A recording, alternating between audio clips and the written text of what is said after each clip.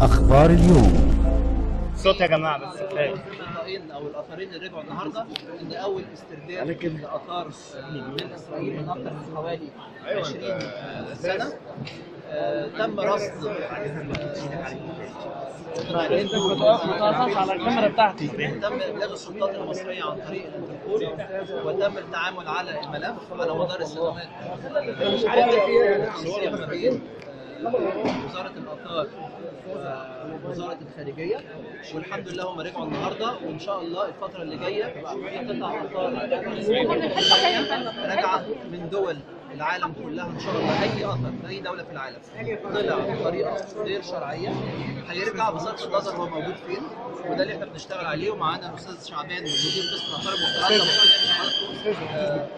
الموضوع تم إزاي